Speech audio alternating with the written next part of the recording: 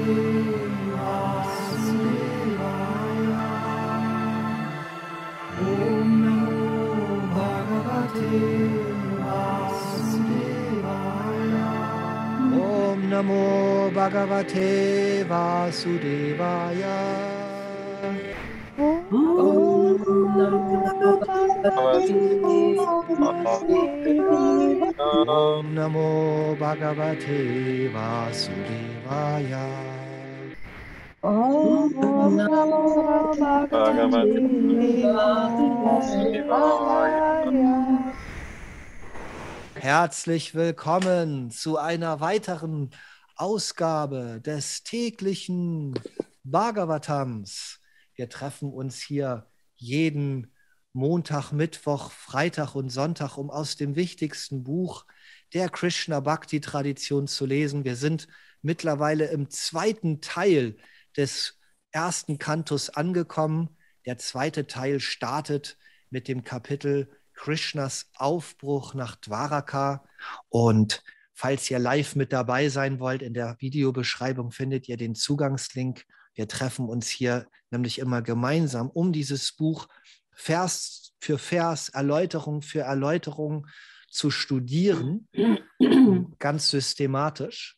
Und ja, ähm, wir wollen heute schauen, wie es weitergeht. Und ich blende euch einmal ein paar glückverheißende Mantras ein. Genau. Wer möchte mit mir die glückverheißenden Mantras noch chanten? Wer hat? Ich kann gerne. Matthew schlaft gerade noch. Gut. Alles klar, machen wir es so. Om Agyana Timirandasya Gyananjana Shalakaya Chakshu Unmilitam Jena Tasmai Shri Gurave Namaha. Ich wurde in tiefster Unwissenheit geboren, aber mein spiritueller Meister öffnete mir meine blinden Augen mit der leuchtenden Fackel des Wissens. Ich erweise ihm meine achtungsvollen Ehrerbietungen. Narayanam Namaskritya Narang Chaiva Narotamam Devim Saraswatim Vyasang Tato Jayam Udirayet. Moment. Bevor man dieses Srimad Bhagavatam vorträgt, dass das wahre Mittel zum Sieg ist, sollte man Narayana, der höchsten Persönlichkeit Gottes, Naranarayana Rishi, dem allerhöchsten menschlichen Wesen, Mutter Saraswati, der Göttin der Gelehrsamkeit und Srila Vyasadeva, dem Verfasser seiner achtungsvollen Ehrerbietungen darbringen. Nashtaprayeshvabhatreshu Nityam Bhagavata Sevaya Bhagavatyutama Shloke Bhaktya Bhavati Naishtiki. Wenn man regelmäßig aus dem Bhagavatam hört und dem reinen Geweihten dient, wird alles, was für das Herz leidvoll ist, fast gänzlich vernichtet und liebevoller Dienst für den glorreichen Herrn, der mit transzendentalen Liedern gepriesen wird, wird zu einer unwiderruflichen Tatsache. Jaya Sri Krishna Chaitanya Prabhu Nityananda Shri Advaita Gadadhara Srivasadi Gaura Bhakta Vrinda. Gerne alle zusammen. Hare Krishna, Hare Krishna, Krishna Krishna, Hare Hare, Hare Rama, Hare Rama, Rama Rama, Hare Hare. Und wir gehen gleich ganz direkt zu unserem heutigen Vers. Wir sind mittlerweile angekommen beim dritten Vers. Moment, da ist er. Und ich chante mal das Sanskrit. Mal gucken, ich habe das gestern ein bisschen geübt, ob da noch was hängen geblieben ist. Nisham yabishmuktamatachutuktam pravritta vigyana vidhuta vipramaha shashasagam indra ivajitashvaya parityupantam anujanuvartitaha. Nishamya.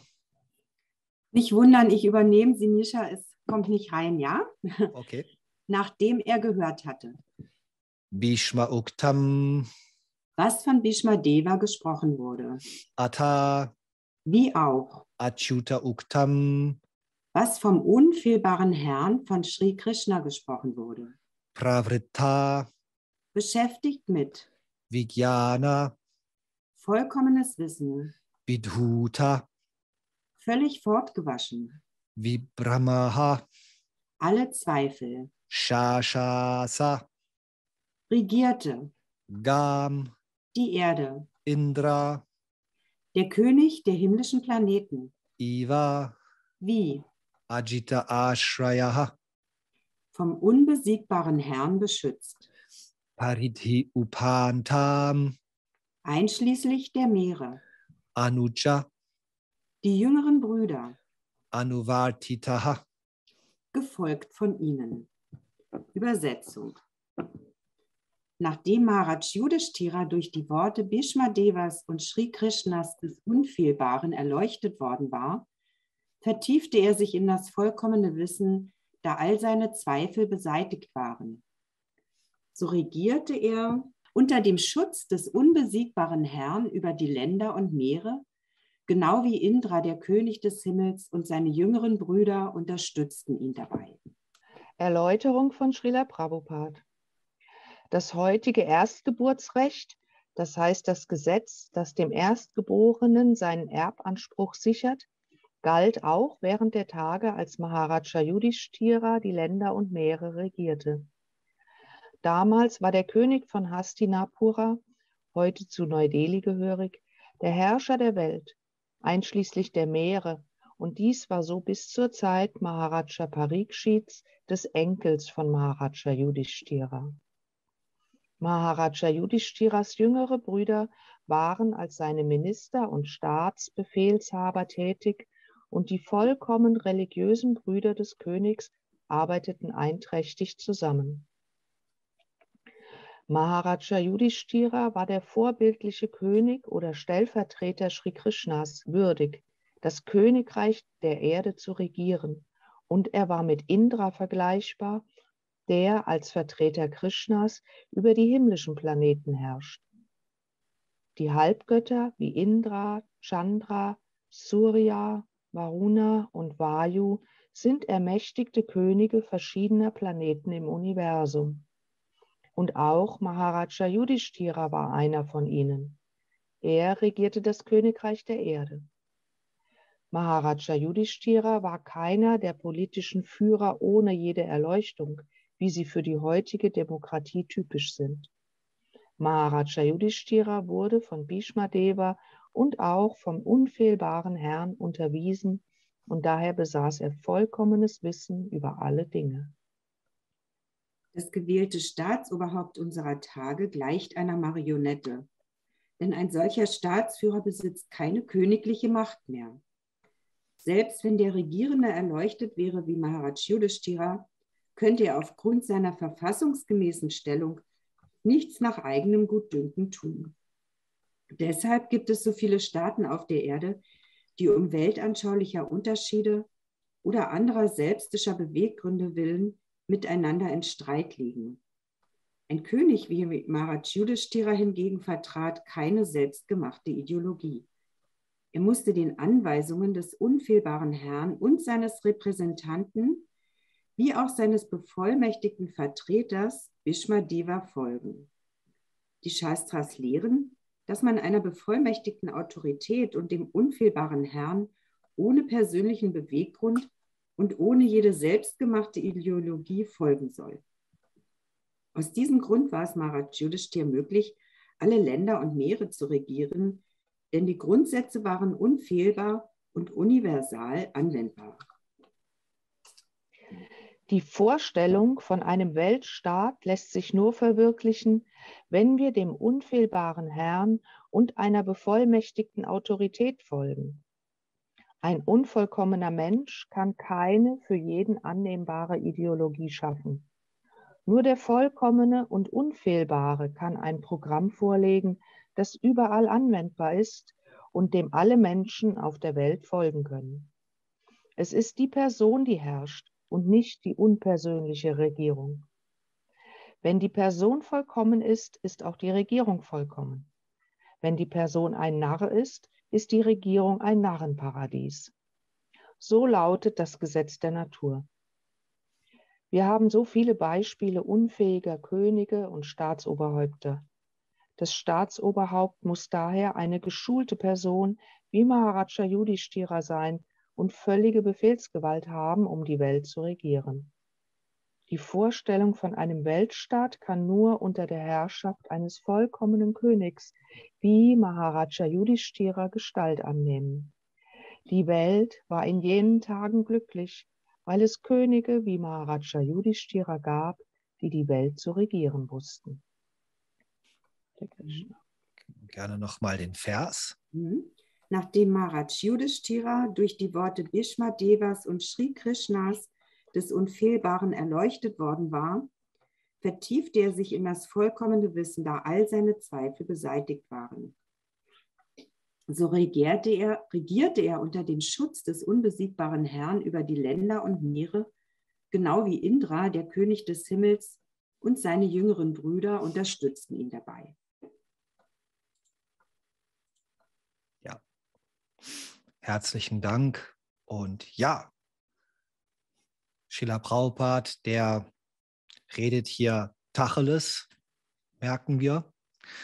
Und ja, ich habe mir hier ein paar Notizen mal gemacht, die ich mal mit euch teilen möchte und gerne benutzt das Chatfenster, falls ihr da auch den ein oder anderen Gedanken oder eine Frage haben solltet. Und zwar, der erste Punkt hier in der Erläuterung ist der sogenannte Erbanspruch des Throns. Und da habe ich mir auch mal so Gedanken gemacht, hm, eigentlich, wir können uns erinnern, es gab diesen blinden Kaiser Dhritarashtra. Er war eigentlich der erstgeborene Sohn aus der Verbindung Vyasadevas und äh, einer dieser zwei Schwestern, Amba, Ambika, nein, Amba war es nicht, Ambika und Ambalika. Amba ist eine ganz eigene Geschichte, die wir auch vor ein paar Tagen mal ausführlich durchgenommen haben. Und ähm, weil ja die eine Schwester von dem asketischen Aussehen Vyasadevas so hm, schockiert war, schloss sie während des Zeugungsaktes ihre Augen. Und es kam ein blinder Sohn zur Welt. Und äh, die Brahmanas, die Königsfamilie, sie kamen zu der Entscheidung, ein blinder Kaiser ist nicht so ideal. Ein Kaiser muss das ganze Land nach, muss es regieren und äh, da muss es jemanden geben, der, wo alle fünf Sinne intakt sind. Also ein blinder König, das ist sehr schwierig. Und so entschied man sich also für den zweiten Sohn, nämlich Pandu. Und Pandu, wie wir dann später erfahren, bekam dann fünf Söhne, die fünf Pandavas. Und äh, Dhritarashtra, er bekam mit seiner Frau Gandhari 100 Söhne. So, und nun ist es so, Kaiser Dhritarashtra, er, oder der Ex-Kaiser, er wurde ja gleich zu zum Beginn seiner Geburt wurde ihm das Erbrecht enthoben. Dhritarashtra haderte damit, wieso bin ich nicht der König, der Kaiser? Eigentlich bin ich doch der Erstgeborene. Okay, gut, ich bin blind. Die haben da schon ein paar triftige Argumente. Aber wie sieht es mit meinen Söhnen aus? Wie sieht es mit meinem ältesten Sohn Duryodhana aus. Wenn ich schon nicht Kaiser werden darf, dann doch zumindest er. Er ist ja nicht blind und er ist der Erstgeborene. Und eigentlich geht die Linie über mich. Aber nein, in dem Moment, wo Pandu zum Kaiser hm, ernannt wurde, wurde die Linie von Dhritarashtra sozusagen durchtrennt und alle Nachfahren, die von Dhritarashtra hervorgebracht wurden, spielten nicht mehr diese große Rolle in dieser Blutslinie. Und so ging der Thron dann an die Söhne Pandus, an den erstgeborenen Pandus. Ja, also gibt es da auch sehr strenge Vorschriften. Und ich habe gedacht, ist das eigentlich in jüngster Zeit auch so gewesen. Und ja, ich habe mir dann mal gestern ein bisschen die Königsfamilie Großbritanniens angeschaut. Und auch da gab es hin und wieder solche, ähm, solche äh, Situationen, wo eigentlich der Erstgeborene den Thron übernehmen sollte, aber aufgrund irgendeines Handicaps oder eines Defizits wurde dann die Thronfolge an den nächsten, an den, zum Beispiel an den nächstälteren Sohn übertragen. In jüngster Geschichte ist gar nicht so lange her. Da gab es den König, Moment, ich muss jetzt mal schauen, König George den Fünften. Und der hatte mehrere Söhne. Und eigentlich sollte Edward, der Älteste, Edward der Achte, hätte er dann gehießen und heißt er auch so, er hätte den Thron übernehmen sollen. Und zwar, das war in den 1930er Jahren. Aber das Problem war, Edward der Achte, er hatte eine Beziehung zu einer bürgerlichen Frau. Das war schon ein Problem. Wir wissen, dass der Adel gerne unter sich heiratet. Das Wort Adel bedeutet schon, man sagt auch blaublütig. Das Blut muss in der Kaste weiterfließen. Es darf nicht vermischt werden mit anderen Kasten. Also spätestens hier erkennen wir für alle Leute, die sagen, ja, in Indien gab es oder gibt es das Kastensystem, dann können wir sagen, ja, das gab es eigentlich überall gibt es auch noch überall. Also selbst heute noch in Großbritannien achtet man auf Kasten. Also liebe Grüße an alle Skeptiker und Kritiker. So, und äh, diese Amerikanerin, diese bürgerliche, sie war auch noch schon verheiratet, schon das zweite Mal und hätte sich dann wieder scheiden lassen müssen. Und da sagte die Königsfamilie, no, das geht gar nicht. Und äh, stellten denn den Edward ein Ultimatum. Entweder er hm, gibt diese Beziehung auf und heiratet den Anweisungen entsprechend eine Frau, die auch aus dem Adelsstand kam und noch nicht verheiratet war, dann hätte er den Thron übernehmen können. Aber Edward entschied sich dagegen, er entschied sich für seine Beziehung und wurde dann von, seinem, von seiner Thronfolge enthoben. Und der nächstjüngere Sohn, nämlich Edward, nein, George der Sechste nannte er sich dann. Er wurde der Thronfolger. Und dann hätte man sich auch die Frage stellen können, okay, wie sieht es aber dann mit den Kindern von Edward dem Achten aus? Und äh, er bekam aber keine Kinder, wobei sich dann jemand meldete aus Frankreich. Er hieß François, oh, wenn ich das richtig ausspreche, Graf Thiot. François Graf Thiot meldete sich. Ich bin eigentlich der Thronfolger von England.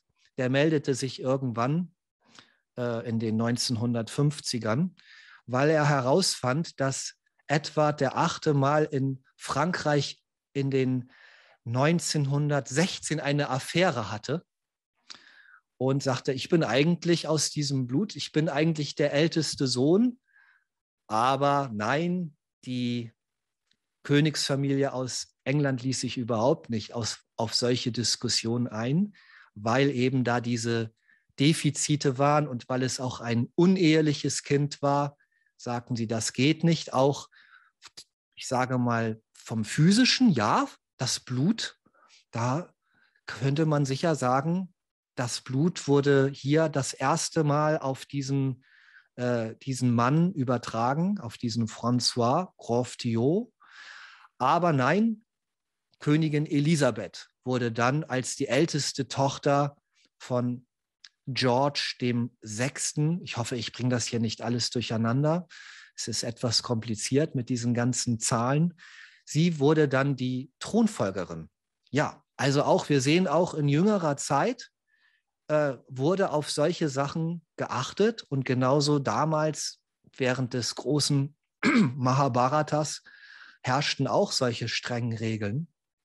Und so ging dann, wir hören hier, dann in der Erläuterung geht es weiter, dass Parikshit, er wurde hier als der Enkel von Judishthir bezeichnet, aber streng gesehen war Judishthir nicht der Enkel. Ihr seht es hier in Zeile 5. Ich lese es euch nochmal vor. Hm. Das heutige Erstgeburtsrecht, das heißt das Gesetz, aus dem Erstgeborenen seinen An Erbanspruch sichert, galt auch während der Tage, als Maharaja Yudhishthir die Länder und Meere regierte. Damals war der König von Hastinapura, heute zu Neu-Delhi zugehörig, der Herrscher der Welt, einschließlich der Meere. Und dies war so bis zur Zeit Maharaj Parikshits, des Enkels von Maharaja Yudhishthir. Und da habe ich mich auch noch mal erkundigt. Ganz streng gesehen war Kaiser Judithstir nicht der Großvater, sondern der Großonkel. Nämlich Parikshit ging aus der Verbindung zwischen Abhimanyu und Uttara hervor. Und wir hatten das schon bei den Gebetenkönigin Kuntis. Da haben wir erfahren, wie eine letzte Brahmastra-Waffe auf den Mutterleib Uttaras, Prinzessin Uttaras, geschleudert wurde, um den allerletzten Nachfahren der Pandu-Dynastie zu töten.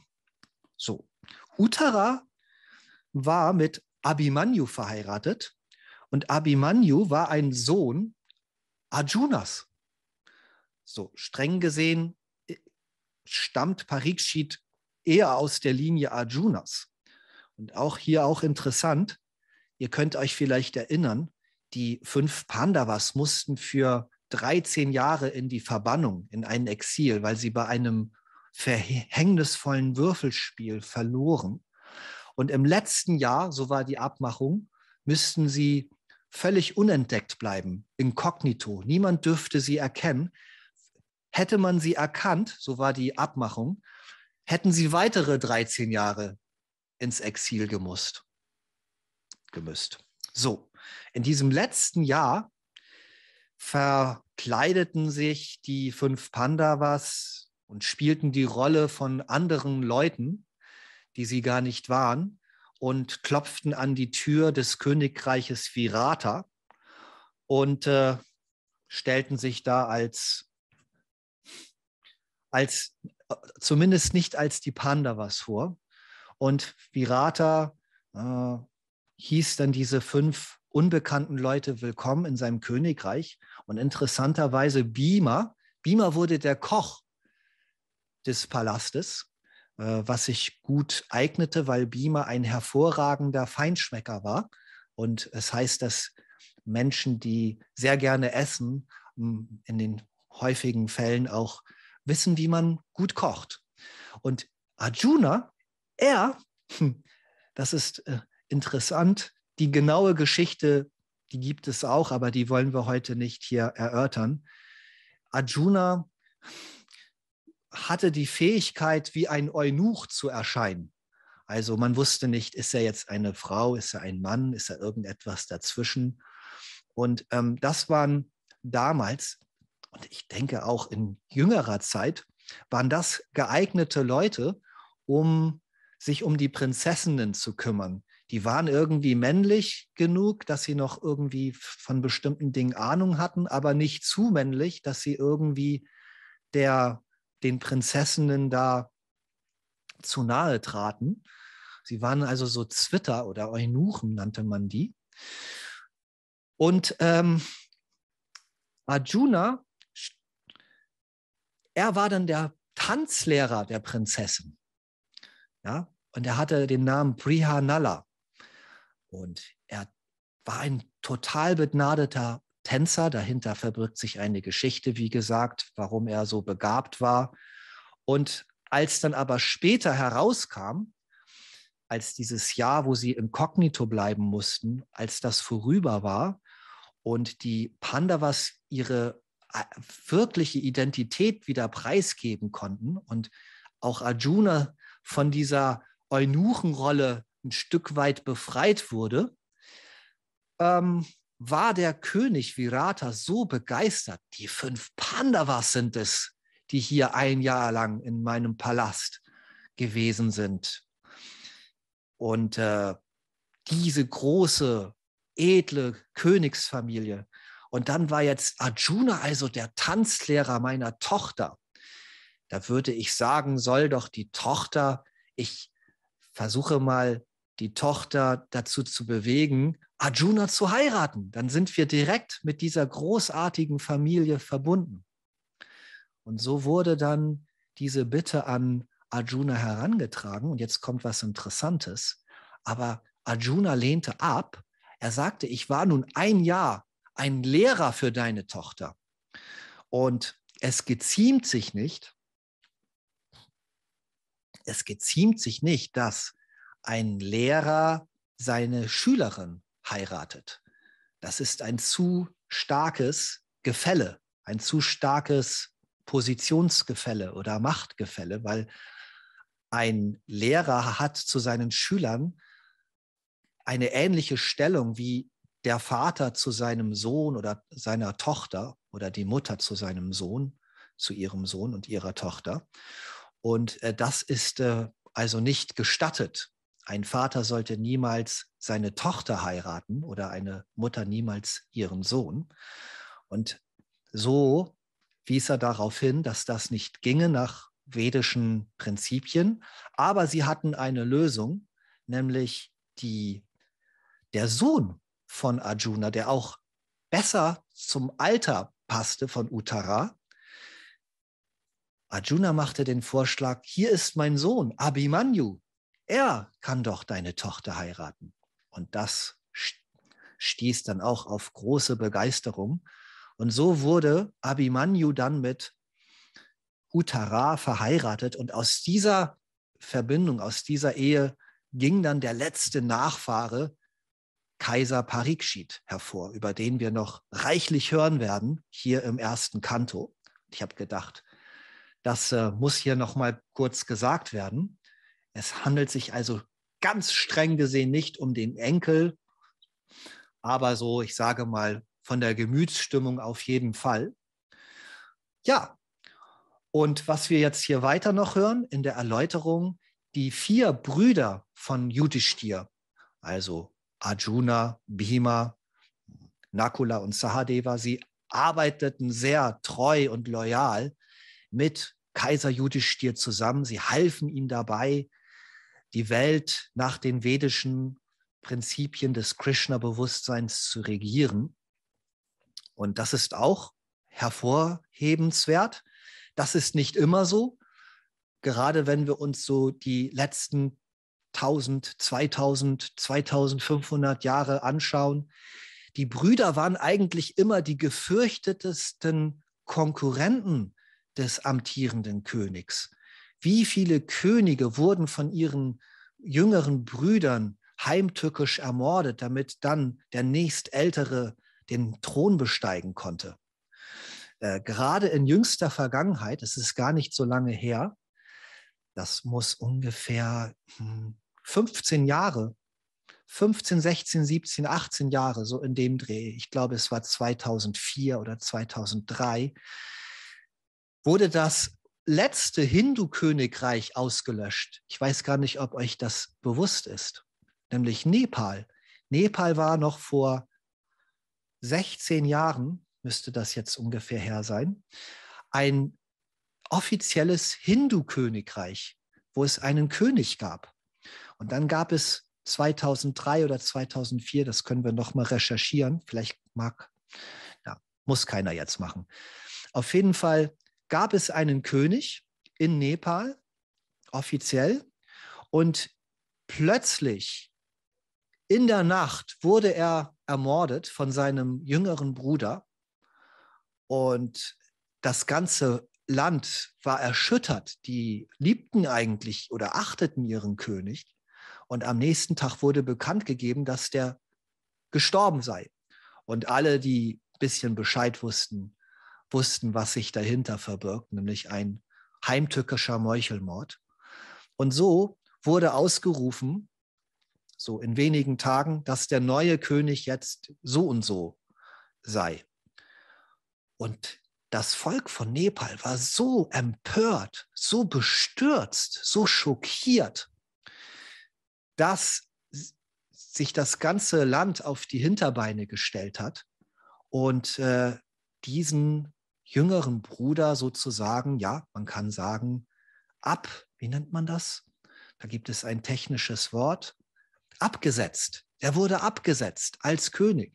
Und nicht nur das, man war so schockiert von dieser Situation, dass man gesagt hat, Game over, das Maß ist voll, auch wir haben hiermit die Nase voll von der Monarchie.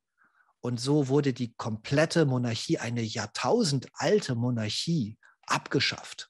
Und wir haben also in Nepal keinen König mehr. So, das ist das Gegenpendant zu der Zeit Kaiser Yudhishtiras. Die vier Brüder, sie waren die loyalsten Assistenten ihres älteren Bruders.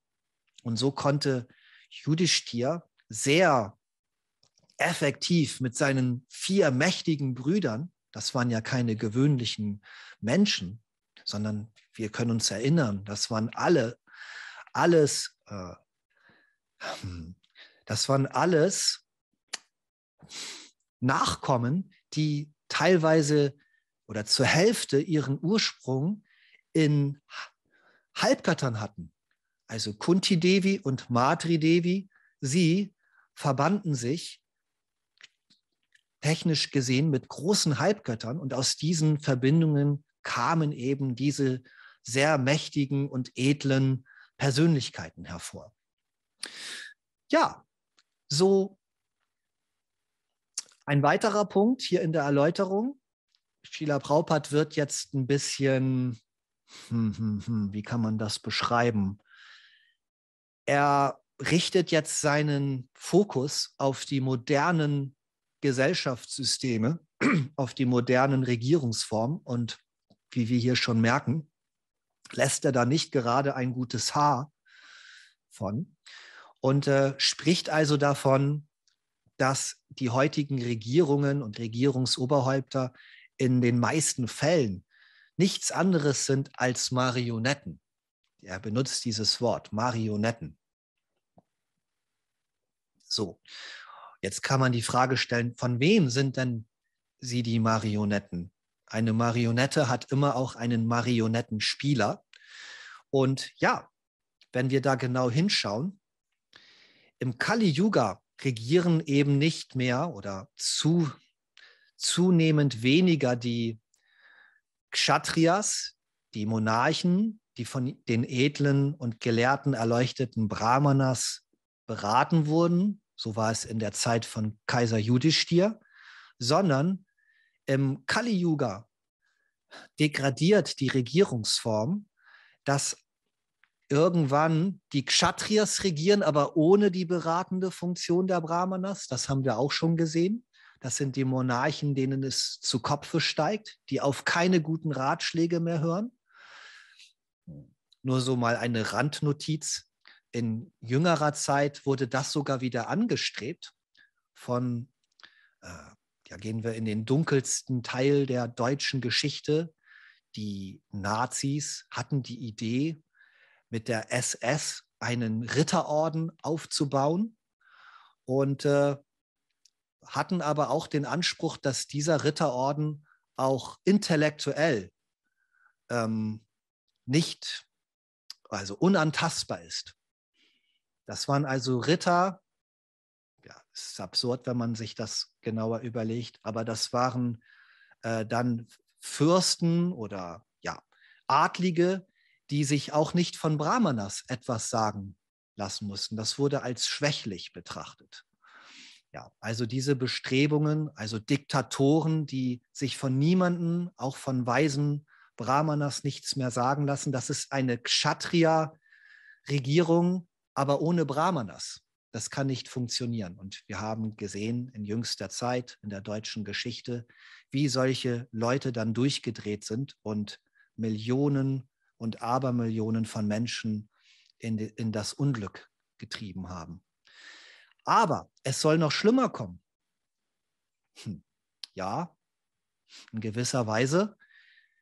Auch das wird irgendwann abgesetzt werden. Und die dritte Gesellschaftseinteilung, das dritte Warner, die Vaishyas werden dann langsam, aber sicher die gesamte Regierung an sich reißen. Und die sogenannten Regierungsoberhäupter sind nur noch Marionetten in deren Händen. Und wie wir wissen, ein Weichjahr, man kann kein Weichjahr sein, wenn man nicht eine gewisse Grundgier hat.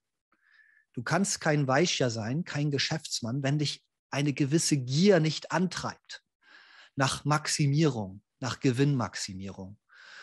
So, wenn ein Weichjahr nicht unter Kontrolle steht, unter den Kshatriyas und Brahmanas, und er seiner Natur ungehemmt freien Laufen lässt, dann ist seine höchste, ah, also seine höchste Philosophie ist, mein Geschäft zu vergrößern. Mein Geschäft zu vergrößern. Das könnt ihr überall sehen. Das ist verankert in der DNA eines Vaishyas.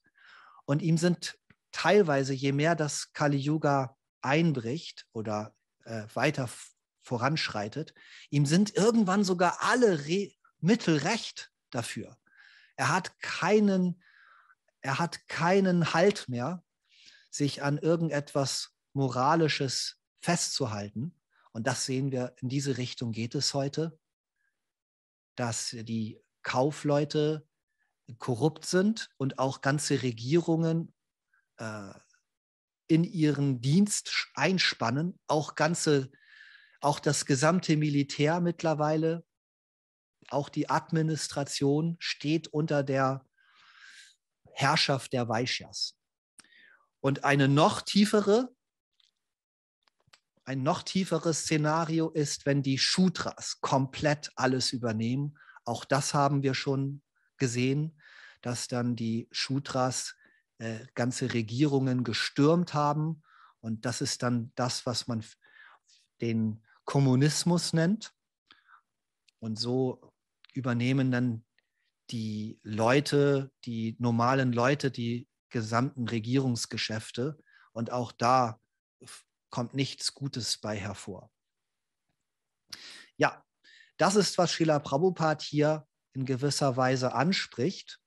Und ich schaue jetzt mal auf den Glockenturm, der schon in sichtbarer Nähe gerückt ist und schaue mal in eure Chat-Notizen. Sinisha schreibt hier etwas. Sinisha, magst du das vielleicht mal verbal? Hare Krishna. Hare Krishna. Ja, das ist jetzt so ein Auszug aus Wikipedia. Mhm. Wir geben halt ein paar Daten äh, wieder. Und äh, ja, Nepal ist halt ein, der, das, die schreiben, das einzigste Land, äh, welches dem, als Staatsangehörigkeit den Hinduismus beinhaltet. Ob das so wahr ist, weiß ich nicht. Als, als Staatsreligion. Als Staatsreligion, genau. Mhm. Und ähm, die Entmachtung des Königs stand, fand am April 2006 statt. Und dann wurde zum Säkularismus, äh, ich weiß nicht, was das bedeutet, äh, wurde dann Nepal zum Säkularismus bekannt. Ja, das bedeutet, dass äh, eben keine Religion vorgeschrieben wird. Du kannst auch Christ sein oder du kannst äh, Moslem sein und auch die Schulausbildung. Wir haben das auch in Deutschland. Also du kannst in die Schule gehen. Du musst nicht am Religionsunterricht teilnehmen. Und es ist nicht wichtig, welcher Religion du angehörst. Und es wird auch im Unterricht keine Religion forciert. Und auch vom Staat wird von dir nicht verlangt, dass du dich zu einer Religion bekennen musst. Das ist Säkularismus. Viele verwechseln das manchmal mit Atheismus. Wir haben hier in Deutschland ja Säkularismus, also mit Religion haben wir nichts zu tun. Das ist aber nicht richtig. Es ist lediglich, dass du nicht äh, gezwungen wirst, dich zu einer bestimmten Religion zu bekennen. Ansonsten auch im, im Grundgesetz, schon in den ersten Psalmen, wollte ich schon fast sagen, in den ersten Gebeten, äh, wird von Gott gesprochen. Das deutsche Volk, wenn, wenn jemand das mag, kann er das auch gerne mal raussuchen. Äh, da wird gleich gesagt, dass das deutsche Volk so, so in etwa mit, mit dem Gewissen Gottes, mit dem Gewissen, dass Gott hm, unser Zeuge ist, wird hiermit dieses Grundgesetz verabschiedet. Wir können das ja kurz mal raussuchen, das ist schon ganz interessant. Lass uns das mal kurz gucken, da gibt es bestimmt schnell auf Wikipedia oder so das mal zu erkundschaften. Also bei einer Staatsreligion ist man praktisch gezwungen, diese Religion anzunehmen oder ja, beim Säkularismus wird man halt äh, nicht gezwungen und da kann man sich frei entscheiden. Man ist halt alles toleriert. Du kannst dich auch, du kannst dich natürlich auch entscheiden, keine Religion zu, ähm, zu haben. Ne? Also auch der Atheismus ist zulässig oder ist jetzt genehmigt. Hier Artikel alle Menschen, es steht in der Präambel, so nennt sich das nämlich. Lass uns da noch mal kurz gucken. Präambel ist so etwas, was feierlich vorher verkündet wird. Ich hab's. Hört genau zu. Das ist also die Präambel. Das ist etwas, was vorher feierlich verkündet wird und dann kommen erst die Gesetze. Im Bewusstsein seiner Verantwortung vor Gott und den Menschen von dem Willen beseelt, als gleichberechtigtes Glied in einem vereinten Europa dem Frieden der Welt zu dienen, wow, hat sich das deutsche Volk Kraft seiner verfassungsgebenden Gewalt dieses Grundgesetz gegeben. Ja, passt ja prächtig zum heutigen politischen Geschehen. Also für alle, die das vielleicht vergessen haben, von dem Willen beseelt, Frieden dem Frieden der Welt zu dienen. Aber unser Fokus liegt hier auf das, das ist das sechste Wort. Das sechste Wort des Grundgesetzes ist Gott. Im Bewusstsein seiner Verantwortung vor Gott. So fängt das gesamte deutsche Grundgesetz an. Ist doch haarsträubend, oder was sagt ihr dazu? Also für Leute, die sagen, ja, in Deutschland haben wir mit Religion nichts mehr zu tun, wir sind ein säkulärer Staat, der sollte sich vielleicht den ersten Satz unseres Grundgesetzes nochmal genauer anschauen. Wir haben ganz viel mit Gott zu tun. Wir haben sogar eine Verantwortung vor Gott. Unser gesamtes, unsere gesamte Verfassung wurde uns, haben wir uns gegeben in der Verantwortung vor Gott. Genau, mit diesem haarsträubenden Aha-Erlebnis, denke ich, können wir heute gut aus der Sendung gehen. Ich bedanke mich an alle, die heute wieder mit dabei waren und die heute wieder sich mit dem Srimad Bhagavatam beschäftigt haben. Und wir können ja zum Abschluss noch einmal Krishna Chandra Das hob die Hand. Krishna Chandra, wollen wir uns das für nächstes Mal aufheben? Du sagst mir noch mal hinter den Kulissen, was du genau sagen wolltest, oder ist es was ganz Kurzes? Geht, geht schnell. Ich habe, glaube ich, das gefunden, was du gesucht hast. Im Bewusstsein seiner Verantwortung vor Gott und den Menschen von dem Willen beseelt, als gleichberechtigtes Glied in einem vereinten Europa, dem Frieden der Welt zu dienen, hat sich das deutsche Volk Kraft seiner verfassungsgebenden Gewalt dieses Gesetz gegeben also im Bewusstsein seiner Verantwortung vor Gott und den Menschen. Das, das haben wir geändert dann später auf Europa. Äh, ne? also Das heißt jetzt Europa, wahrscheinlich ist es vorher Deutschland. Krishna wollte, dass das Wichtige hier nochmal wiederholt wird. Dankeschön. Danke. Vielen Dank, Krishna Chandra. Dann würde ich sagen, ich nehme mir mal meine Ukulele und schaltet gerne alle einmal eure Mikrofone ein und lasst uns einmal den Hare Krishna Maha Mantra chanten.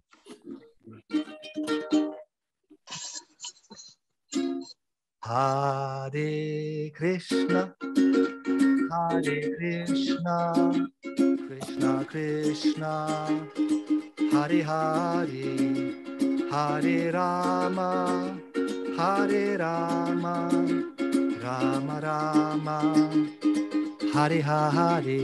Alle zusammen. Hare Krishna, Krishna Krishna, Hare Hare, Hare Rama, Hare Hare Hare, Hare Krishna. Hare Krishna, Hare Bol. Hare Krishna, Hare Krishna, Krishna Krishna, Hare Rama, Hare Rama, Rama